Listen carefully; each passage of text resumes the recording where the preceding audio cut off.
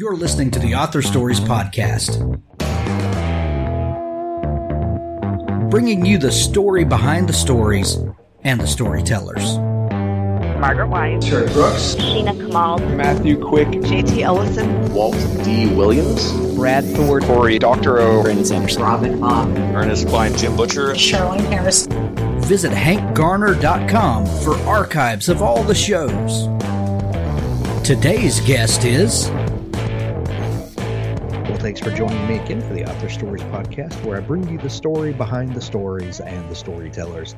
Today, I'm super excited to have Jillian Cantor back on the show with me today. She was on the show a couple of years ago when she had, uh, when her brand new book at the time was In Another Time, uh, and what a phenomenal book that was. You can go back and listen to that episode. I'll put a link to it in the show notes.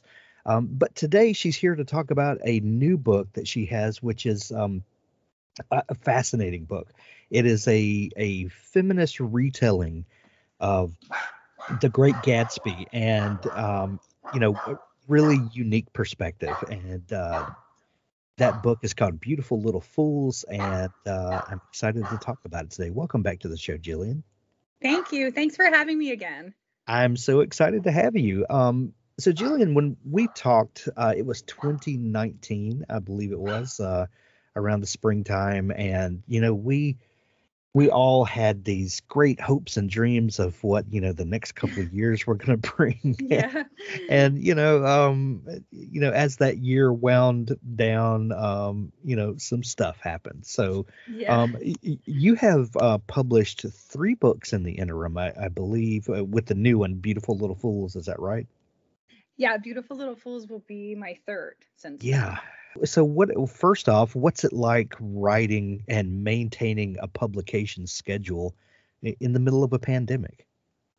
Well, Beautiful Little Fools was the first book I actually wrote during the pandemic. Um, Okay. Like you, I had a another book out um, in March of 2021, and I had a book out in the fall of 2020. But both of those were finished before the the pandemic. Um, so Beautiful Little Fools was the first one that I wrote actually during the pandemic time, um, and I actually had started it January 2020. Um, I sold it just on the first 50 pages and an outline in February 2020. So I had no idea, even when I sold the book, that I was going to be writing it during a pandemic. But when I really wrote the book was like March, April, May, and June of 2020. Um, so it was it was definitely a different experience and not what I expected going into it. Um, you know, as a writer, I work at home always. so so I'm always home, but usually I'm home by myself. And then suddenly I was home with my kids and then you know my husband was on Zoom and we were all in the house all the time. And so I didn't get that normal quiet space that I usually have to write.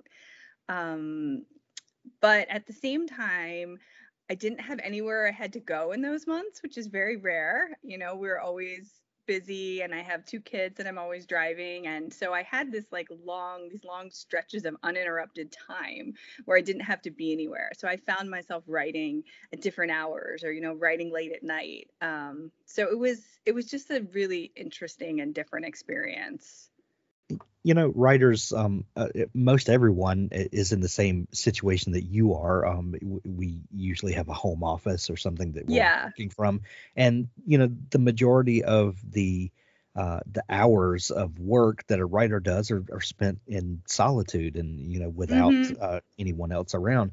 And uh, one thing that I, that I've heard from a lot of people is that you know they're they're now dealing with the presence of other people and and that kind of um you know changes the dynamic of your creative process but also um you know i've heard from some other people that you know even though um writers tend to work a- alone and in solitude in, solitude that the knowing that the rest of the world is doing the same as well um you know has a, a certain um mental uh that it it it has a way of kind of influencing the way we feel about the world that there's something uh, about just knowing that the rest of the world is getting up and going to work and, and Mhm. all of that even though you know i'm here in my home office um Yeah.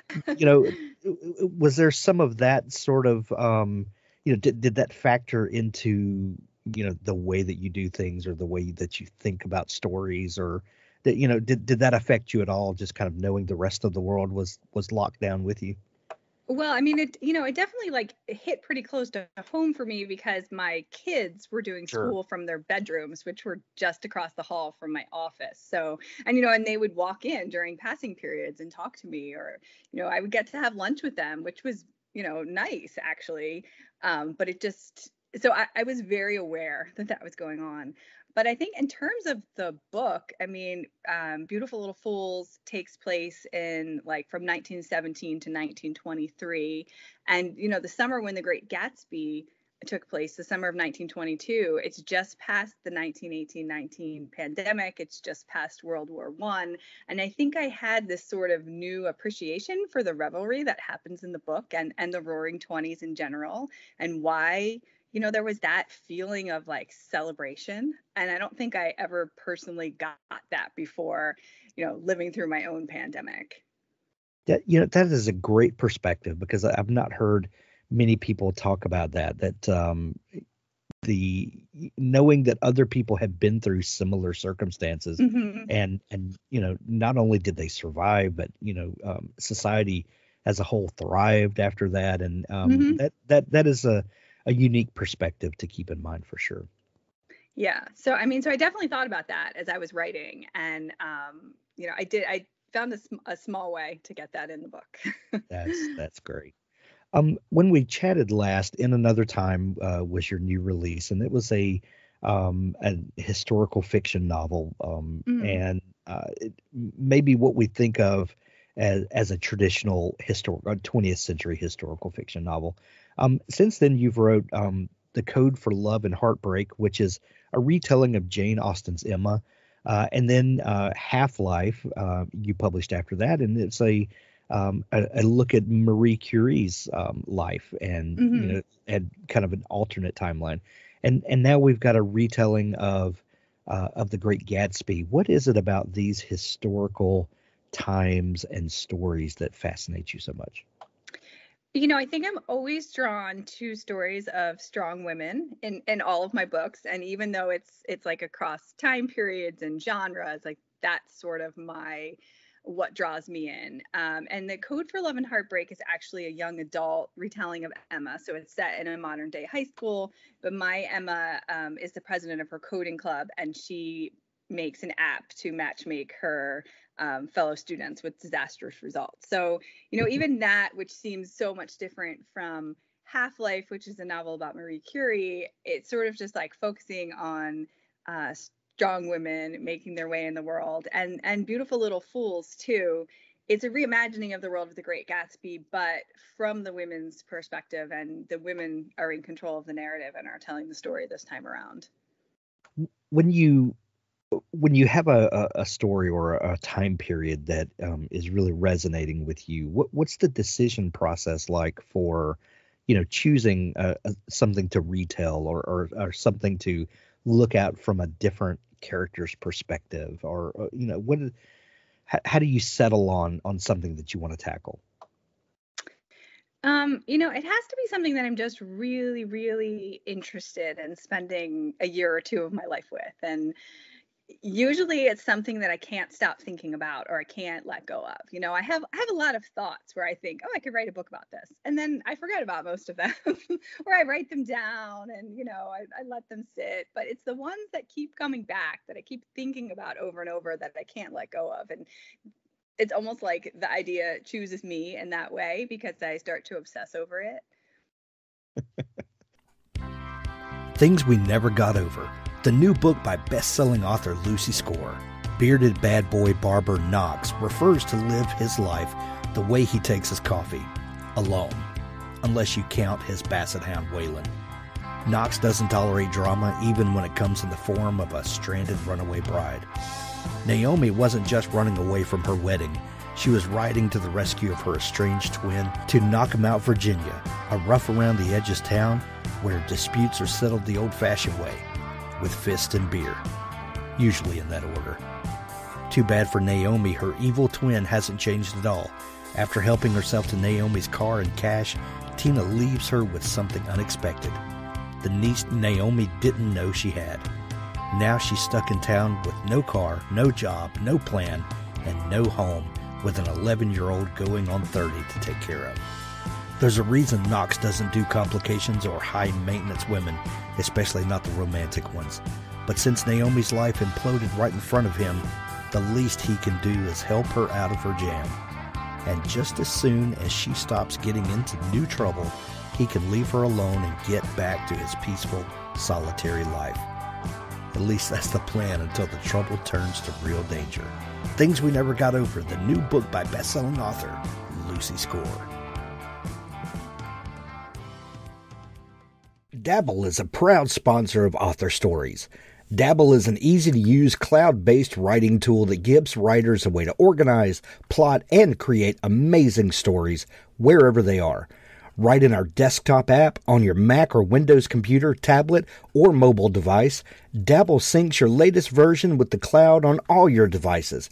Write anywhere and anytime inspiration strikes we got you.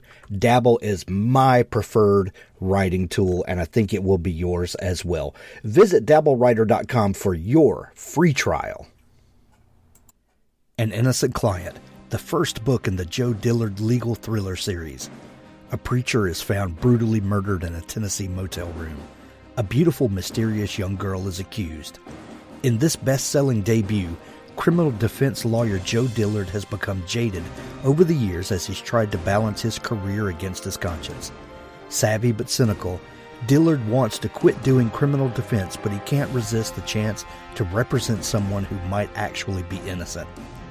His drug addicted sister has just been released from prison, and his mother is succumbing to Alzheimer's. But Dillard's commitment to the case never wavers despite the personal troubles and professional demands that threaten to destroy him. Chosen by BookBub readers as one of the top 100 crime novels of all time, get started on this great series with an innocent client where it all started. Read for free with Kindle Unlimited or buy it in paperback or audiobook. An Innocent Client by Scott Pratt. Um, how do you, how do you tackle like uh, like when when you start thinking about take beautiful little fools for instance Mhm. um, a story that we're all very familiar with one of the greatest novels of the 20th Yeah. century um how do you start you know when you say well i, I want to take this story but i want to i want to look at it from the female perspective and and you know get the the bird's eye view from or, or the character's view from from these different angles and and, and different characters and, and how they see the same instances um, that that we're familiar with. How how do you start looking at? Uh, or I, guess a better question would be um, how how true to the source material do you try to be, or uh, is that something that um, you know? Are you worried about being true to the source material, or is this are, are you looking for more of an inspiration type of thing and then um, just kind of let the story be its a new thing like um you know are you trying to to you know be um be true to the great gatsby Mhm. or is this just an influence you know, it's actually pretty true to The Great Gatsby, um, and I have to say that I've always been a huge fan of The Great Gatsby, and it's it's a book that I've reread over the years again and again. I just come back to it because I love it, and you know, something that's always intrigued me about it is that F. Scott Fitzgerald chose Nick as the point of view character, and Nick is the outsider in this world. So Right. everything we're seeing in The Great Gatsby is filtered through Nick. In Beautiful Little Fools, uh, you know, the entire timeline that I that I set up from 1917 through 1923 is drawn from the original Great Gatsby. Um, and there's there's like a page or two I think in the book where Jordan talks about what she and Daisy did in this five year period, and so that ends up being two thirds of my book. You know what's going on in 1917 through 1921. Um, and so in terms of like where all the characters were and what events are happening in their lives you know that's all from the original great gatsby but in terms of staying true to the source i felt that the great gatsby's narrated by nick so everything we're getting is from nick's perspective nick's gaze and daisy and jordan are really big parts of the plot in the original but we barely hear them speak And so I felt I had a lot of leeway once I put things in their point of view. And even if I was creating the same scene that Nick showed us, if we were seeing it through Daisy's eyes, it could be entirely different. It would be entirely different. Um, so I feel like I stayed true to what happened in The Great Gatsby, but I made Daisy and Jordan and Myrtle and Catherine very much my own. Uh, and I felt there was a lot of room to play around with, you know, their points of view and how they see the world. Jillian, are you uh, are are you a, a great planner, um, or are you more of a pantser in your writing process? You know, I'm usually a pantser, and in this book, I planned. so, I um I felt I had to for this book because I did want to stay true to the Great Gatsby. Right. So I sort of plotted out, you know, where everybody was in time based on what was in the original, and then what everyone was doing based on the original. So I did actually start with a really detailed outline of where this book was going to go, and that's not normally how how I write. Um, but I actually found the outline was very hard and the writing was much easier. You know, that said, I'm working on um, another book now and I didn't outline anything. So I, I guess I went back to my original ways. I love it. So did you did you take the Great Gatsby and deconstruct it um, mm-hmm. before then planning this one so that you you know did understand you know all of the twists and turns and the different uh, character perspectives? Did you have to kind of yeah. break all that apart to then see what you're dealing with to to then you know give us this other perspective? Yes, I did. I did for sure. You know, I re- I actually reread The Great Gatsby three times when I was working on this book. Once before starting and doing the outline, and I sort of took extensive notes on you know where every character was in each year, um, there's a few lines and a few scenes in The Great Gatsby that repeat in my book, but from a different point of view and sort of take on a different meaning. So I sketched all that out. I reread it again after I wrote the first draft for some details and some lines that I missed. And then I read it a third time when I was doing the copy edit stage. So I did spend a lot of time uh, deconstructing it and, and thinking about um, every line. And there's one line that just sort of sticks out to me in The Great Gatsby, and it's it's in that scene near the end when they're all at the plaza and they're drinking and it's very hot. And Jordan has one line where she talks about um, something that happens after Daisy's wedding, right before her father died. And that becomes like a major plot point in her storyline for me. I, I have this vision in my mind of of uh, a detective that you know is stalking a serial killer, and you've got stuff you know all up on your walls and strings connecting everything. I know. Yeah, that's my walls actually didn't have anything, but I had just like a lot of like notes all over my desk and you know a big document with everything in it. But yeah. so fun.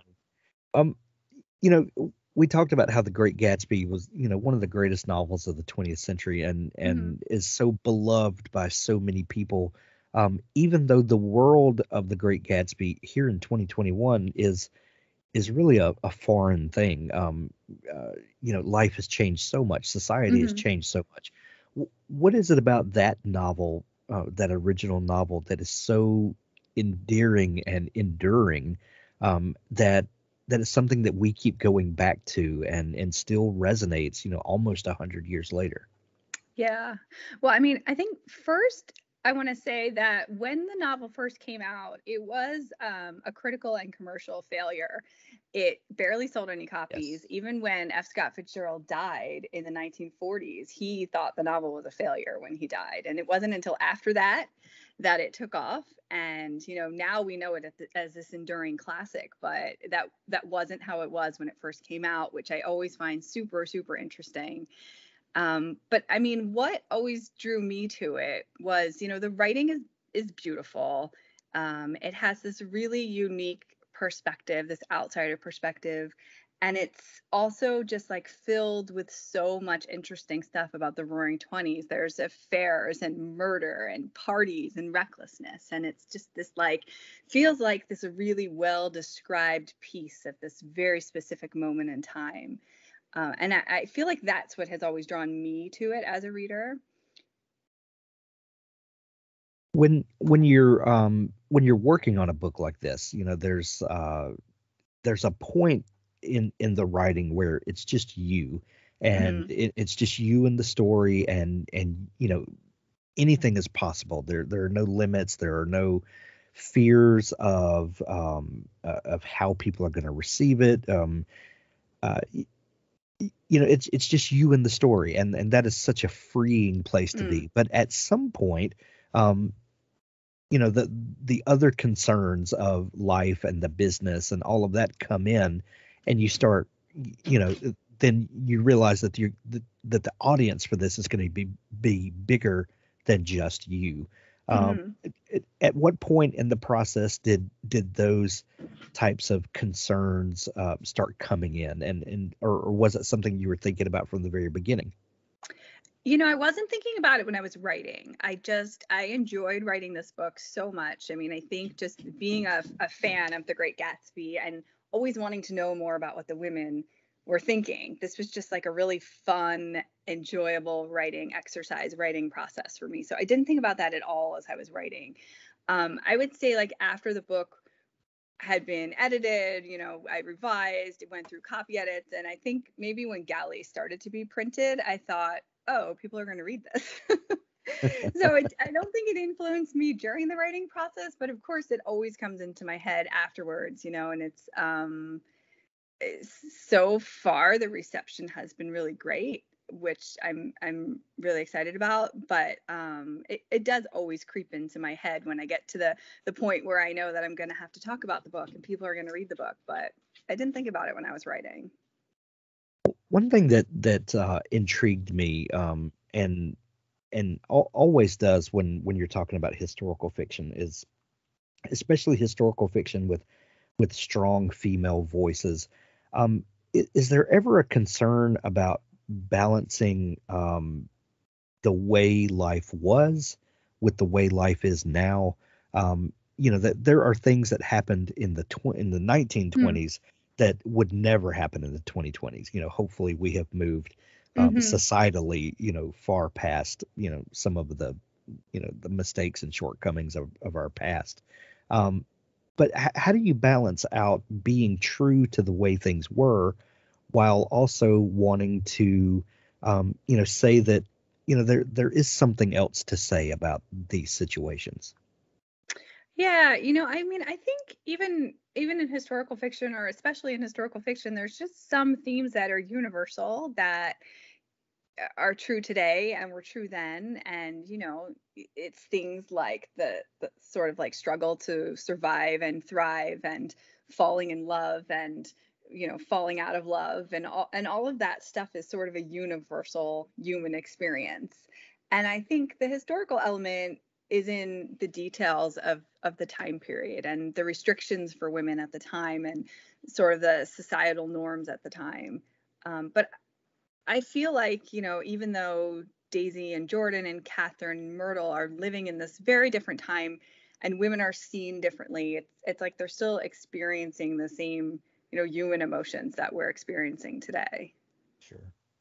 Um, how did you handle the the murder mystery um, aspect of the book? Um, you know, you know when when there when something happens um, that has already happened, um, how how do you handle um, you know giving different perspectives to that and and um, you know knowing I, I guess knowing some of the mysteries of the book that that have been solved um, because you know most of us have read The Great Gatsby Yeah. um you know how do you handle that and and keeping the intrigue up even though people know you know kind of how the story's going to end So my novel actually is very much sort of a murder mystery. Um, there is a detective character who threads in between the women's chapters, and you know, in the original novel, um, Myrtle is hit by Jay Gatsby's car and she dies, and then Jay Gatsby shot, and Myrtle's husband is, you know, also found shot nearby, and they just declare the case a murder suicide, and it's over. Um, so we all know that from the original Gatsby. My novel begins where there's a detective who finds a diamond hairpin by the scene of Gatsby's murder, and he starts to suspect that one of the women in Gatsby's orbit might have been involved, and that it might not have been a murder suicide. So there's an entirely different uh, mystery in my version, which sort of fits within the confines of the original. Um, so ho- you know, hope hopefully it did keep the intrigue up to do that. Love it. Love it. Um, Jillian, we talked about how different um, the writing has been during the pandemic and, and how, you know, family, um, you know, structures have changed and daily routines have changed. Um, what about the publishing end of it? What, what's it been like launching books, um, you know, while, while the, the world has Yeah. been kind of off kilter? Uh, you know, it's I mean, it's definitely been different without doing anything in person, um, which has been both, I think, good and bad. You know, I'm I miss like the interaction with actual readers and and bookstores, but I've I've done a lot of virtual events and I've gotten to do them with authors that I'm friends with that live all over that I wouldn't normally get to do events with. So I feel like that's been really positive. Um, but I, you know, when Half Life came out, it was in the part of the pandemic where no one was really vaccinated yet. So like I, I didn't even see it in a bookstore for like two months after it came out. so it was this weird thing that I knew was out in the world, but I didn't really see its existence. So I wasn't really sure I believed it. And so that was definitely different. Um, but it- you know, just even in terms of launching Beautiful Little Fools, it was like we were trying to plan a book tour. And at first we were going to do an in person book tour. And then now we're doing an all virtual book tour. And it's just very hard to predict in advance what the world was going to be like and if people were going to be going to events when the book came out. And so that element is definitely different.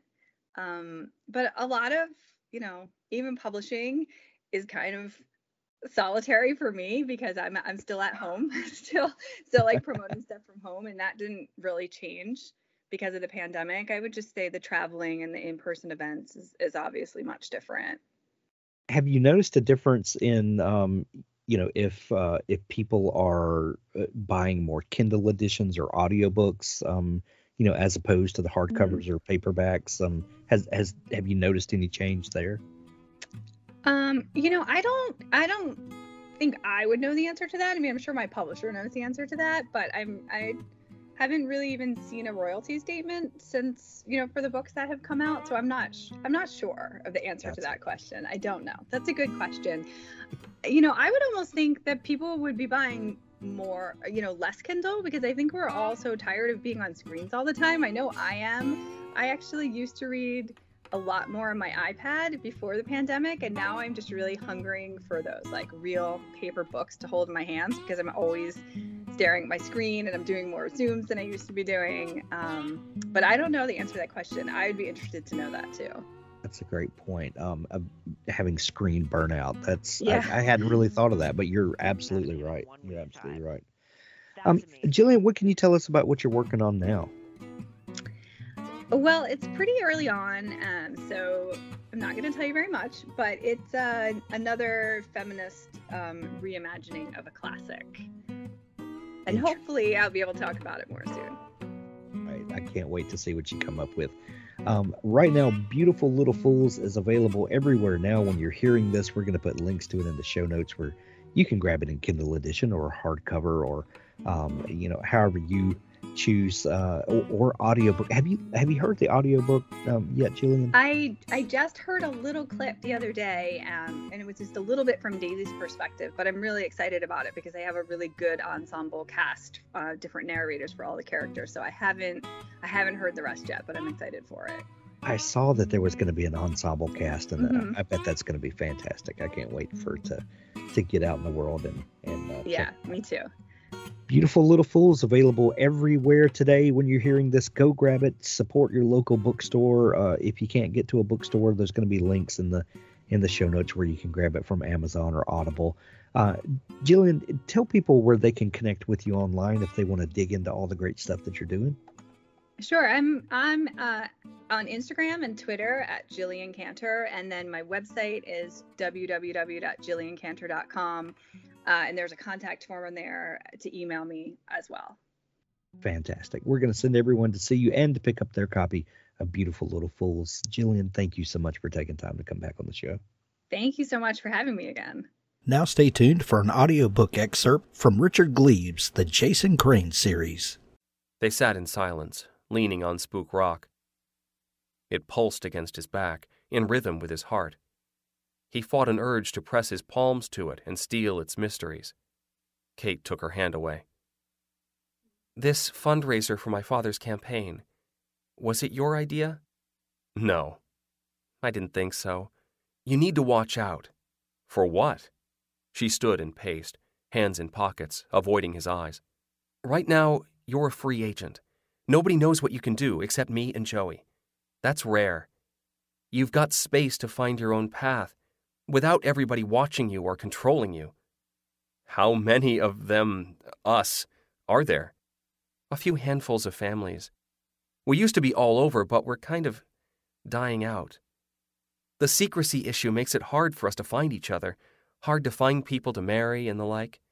So we congregate in a few obvious places Salem, Sleepy Hollow. Transylvania? Don't be stupid. There's no monsters, just people. And ghosts. Ghosts are people. They were. She held her arms out. That's all there is. People in the spirit world. And places in between. Magic places, haunted places. Like this. We gravitate to towns where we can stick together. It sounds nice. It can be smothering. We have factions. Not all of us want to get by in peace. Some of us, my father is one, say we need to be more aggressive, increase our numbers, take charge of things. Politics, finance, fix the world. People listen. They think they're special. They don't call themselves the gifted, they call themselves the appointed, as if God singled them out to rule. My dad's a good man. He just thinks he knows what's best for everybody, and you'll be meeting his crowd. At the fundraiser, it will be mixed, mostly normals, but I'll point out the dangerous ones. My father employs a man named Mather. You can't miss him. He has purple eyes. Mather is like this rock. He'll be able to sense you. If you want to stay a free agent, you'll need to avoid him. Or else what? They'll want to recruit me? You're Ichabod's descendant. Ichabod was attacked and survived, a potential founder. They're already watching you. I'm no good to anyone. You don't believe that. Neither do I. She knelt and pushed the hair out of his eyes. What am I going to do with you, Jason Crane? Love me, he thought. He felt himself lean forward. They would kiss here in this sacred place, beneath the stars. Stars? Stars? What time is it? Jason jumped to his feet. We need to go. Why? A firefly swept the air, flared yellow green, and died. What's wrong? She followed his gaze and gasped. Fireflies swam in every dark crevasse. Faces coalesced where the lights hovered. Faces of crones and young boys and stern men. Emaciated, hale, wounded, vacant, menacing, piteous. Bodies took form military uniforms, bonnets, black lace, crepe, shrouds, winding sheets. Sleepy Hollow Cemetery had disgorged its dead, and that grand army of spirits now made camp at Spook Rock to await orders from their leader. A laugh chopped the wood of the forest. Jason had heard that laugh before. He squeezed Kate's hand. Run,